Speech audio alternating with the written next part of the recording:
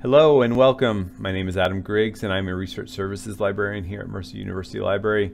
In this video we're going to talk about online archives. Our discussion will center on the different types of online archives and we'll get familiar with the various terms used to refer to those archives. Just to narrow this down a bit more, I want to talk about the scope and objectives for this video. So our scope is primarily focused on finding primary sources for history research. However, online archives can be used for a whole lot more than just history.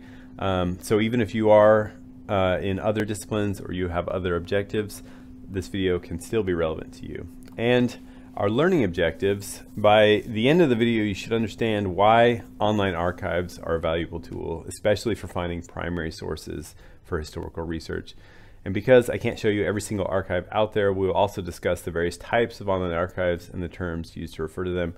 And finally, you should be able to distinguish the common features of these different types of archives. So why should you consider using online archives at all in your research? Well, archives by their nature are tasked with collecting unique and important documents and items and helping to preserve them. Usually this mission also includes allowing researchers to interact and learn from these materials. And online archives are used in the same way, and they also help traditional archives to fulfill this mission. So online archives help to expand access. So the reach of any archive is limited, and it has to be this way because some objects are just so unique that there's only one of them, and if you are not near that archive, you cannot view those documents. So online archives break down these geographical barriers, and researchers are no longer limited by where they live. Uh, related to this, archives serve a specific community or receive documents from particular people or organizations. In this, in this regard, each collection within an archive is only as complete as their donations and holdings, and most archives have gaps or missing documents. Online archives can help you to fill in these gaps by making relevant work available. So this means that you can pull primary resources from multiple online archives and get a more complete picture than you otherwise would be able to from just a single archive. Finally, a lot of archival materials are old and they are delicate and if scholars want to look at them or read them, they might break them or the documents could become damaged through use. In this regard, online archives help with preservation because most researchers will not need to access the physical objects, but they can use the digital copies. Okay, so now I want to emphasize these points with a quick example. So here we have a digitized page from a manuscript called the Bosworth Psalter.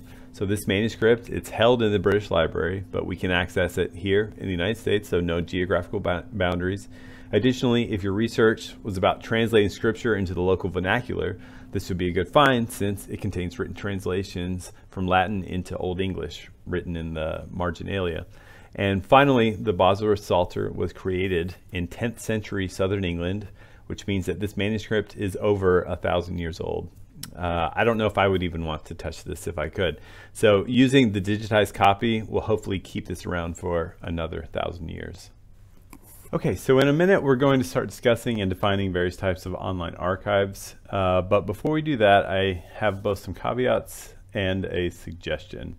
As for the caveats, it's really important to acknowledge that there are not always clear boundaries with the different types of online archives. The main different types of archives all do similar things. So for example, an archive that calls itself a digital library is pretty similar to an archive that calls itself a digital collection.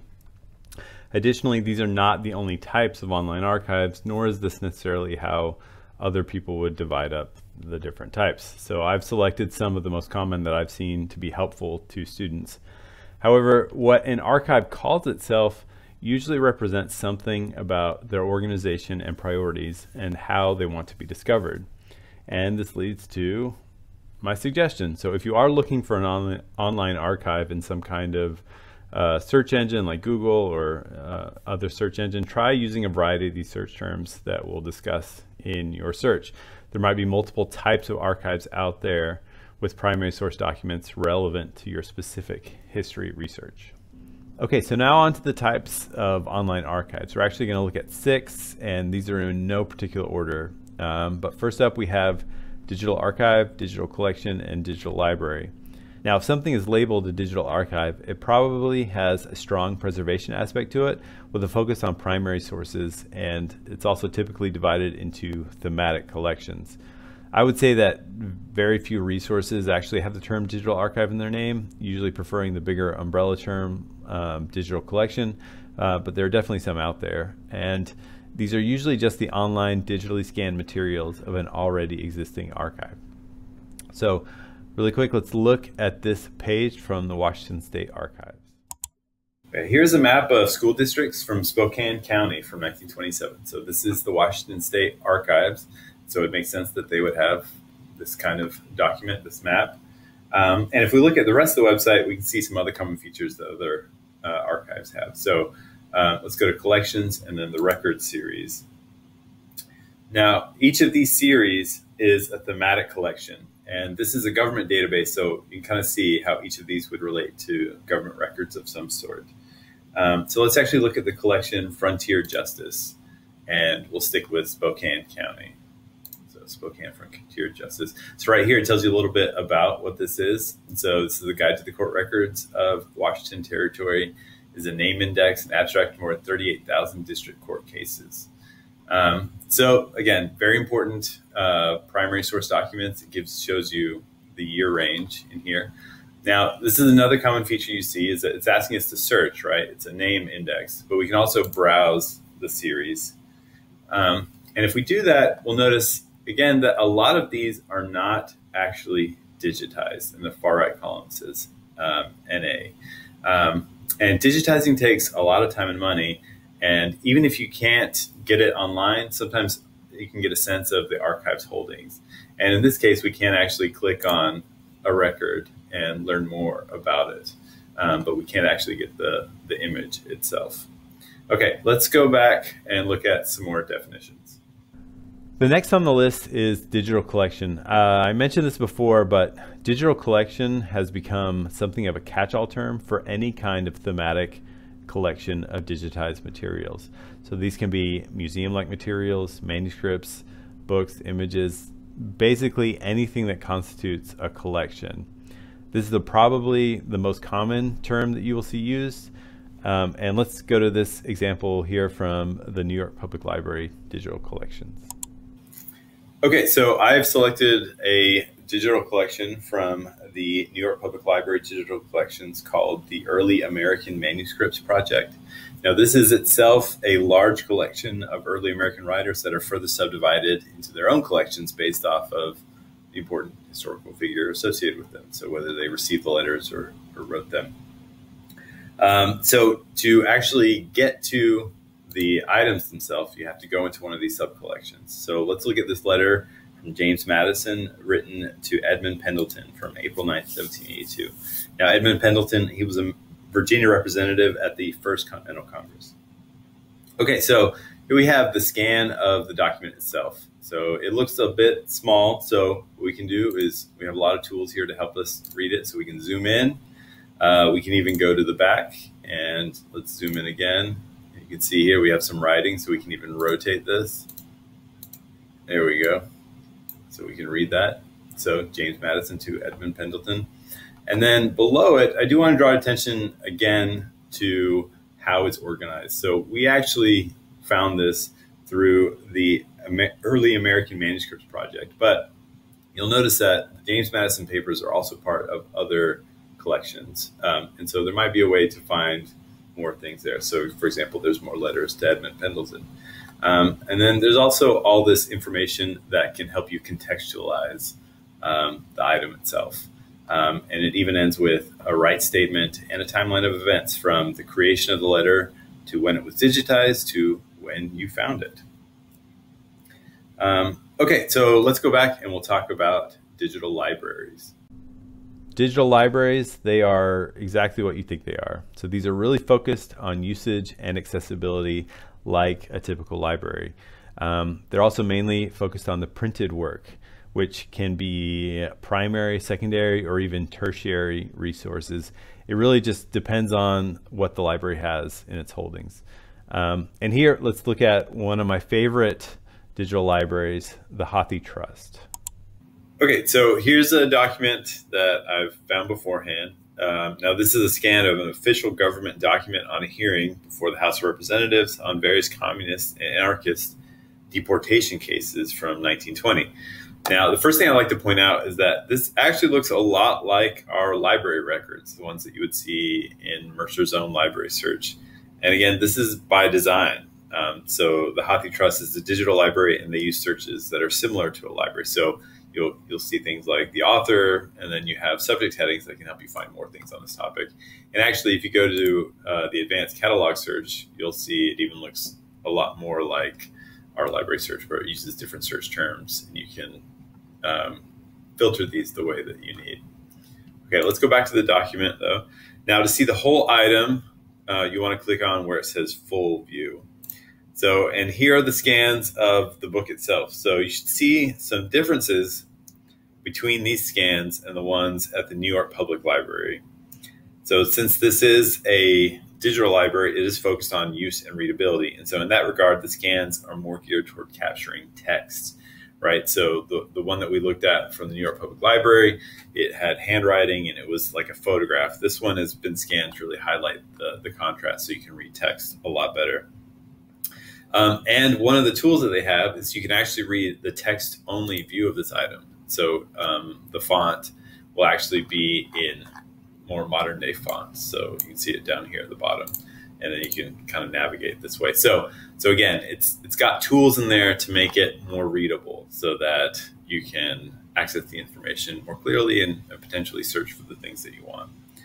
Okay, so let's go back and we'll talk about three more types of archives. All right, let's move on to the next archive types. So now on this slide, we have institutional repository, digital humanities, and scholarly databases.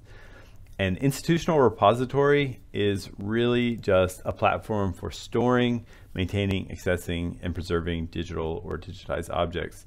Um, but what makes these different is that they're usually on a smaller scale, just the institutional level. So for example, a local historical group might have its own institutional repository. Also, universities usually have their own institutional repositories. So actually, let's take a look at Mercer's own repository. It's called URSA. All right, so here is an item on URSA, and URSA stands for Mercer University Research Scholarship and Archives. So this is a yearbook, uh, the Cauldron from 1984, and you kind of get a look at the 80s hair and outfits. Um, yeah, great. So yeah, so it's college yearbook. So if you look here, you'll find some information about it.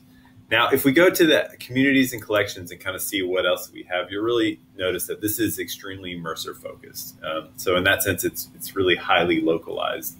And institutional repositories are like that, right? So um, they're they're just super local to the organization that is maintaining them. It's where they put the things. So here we have things all related to to Mercer. We can have research by faculty and, and students, um, and we even have some university partners on here.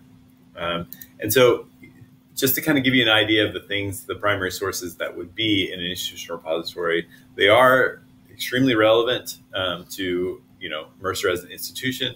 Um, but unless your research involves Mercer in some way, they might not be as relevant. So, um, if you do have an organization that you are researching, um, maybe take a look and see if they have an institutional repository or a place that they're putting um, their archival materials. Okay, great. Let's go back and we will uh, look at um, some projects in digital humanities. Okay, so for the next one, it's digital humanities, and very few projects will actually have the term digital humanities in the title, um, as this is more of a research discipline that's really expanding its reach in a whole variety of subjects. So very briefly, digital humanities are research projects by humanities scholars that use data and digital tools to present and interpret primary sources. So they are not just giving you the primary source, but they are reforming the way that we engage with those primary sources. Again, these are just broad strokes, and there are many ways um, to do digital humanities, and there are many types of project out there.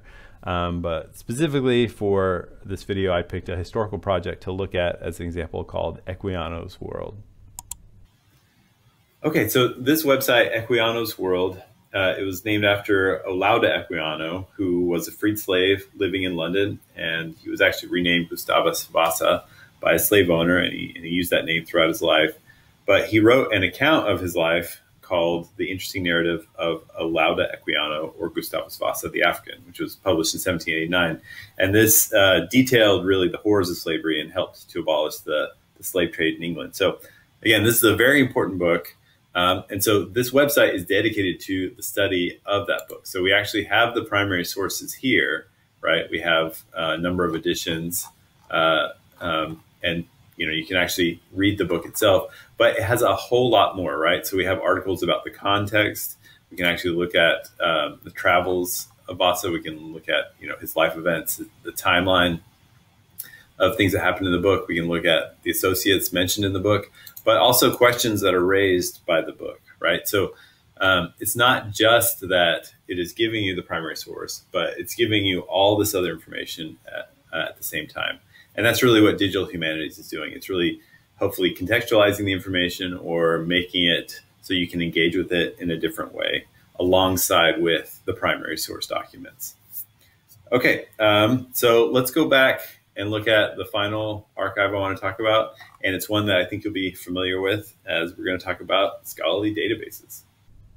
I put scholarly databases on this list mainly because it is not what comes to mind when students think about online archives. This is because many scholarly databases uh, are meant to find secondary sources historical, well-researched papers from academics or you know other interpretive texts.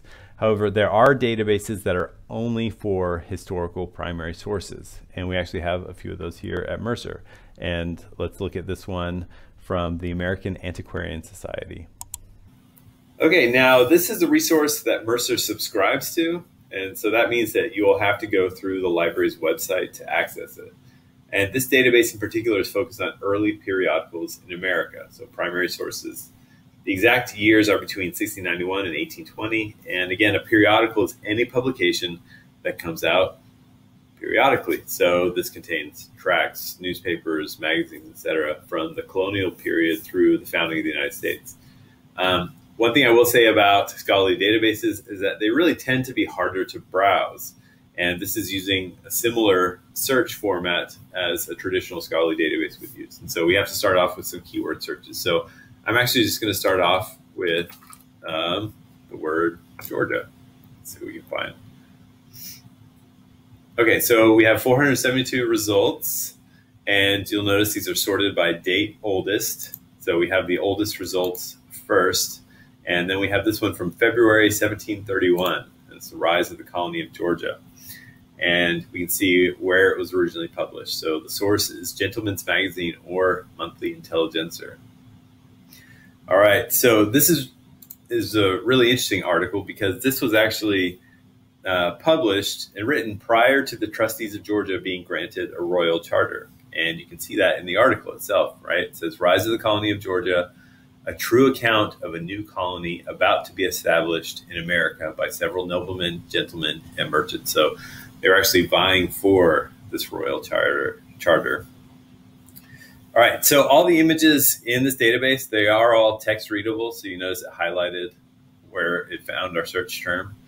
Um, but um, you cannot necessarily find them in more modern texts, right? So there's some, uh, they have long S's in here. So some of these might be a little bit more difficult to read, but you can download them all via PDF if you find something that you're interested in. Okay, so that sums up scholarly databases. Let's go back to the slideshow and we'll uh, finish up with a short discussion of some other relevant important terms. Now, I want to speak briefly about a few other terms that you will come across when looking for online archives. Uh, the first term is memory institutions. So knowing what kind of memory institutions are out there can really help in your search for primary source documents. This is because memory institutions are any organization dedicated to preserving and documenting our collective past. And doing so goes well beyond traditional archives and libraries, but it can include museums, historical societies, hobbyists, nonprofit collectors, etc. Um, more often than not, you will need to do research on who has what primary sources and then search for that particular group's digital archive. However, there are some archives out there that do a really good job at collecting a lot of resources in one place. And I want to show you just one more example of an online archive that takes from a whole lot of different memory institutions, and it's called Europeana. Okay, now Europeana is designed to make it easier for EU member nations to share their cultural heritage. So the way this works is that you have multiple memory institutions from all across Europe, and they can all combine their digital archives into this single platform. And so if we come down here to where it says all institutions, we can see that we're actually talking about hundreds of different archives and uh, memory institutions. Um, and literally millions of items are, have been digitized and put into this platform. And so what this does is it expands the reach of each of those archives because everything is findable in the same platform. So, for example, if we come down here to newspapers, we can see that they actually have over 4 million newspapers from all across Europe.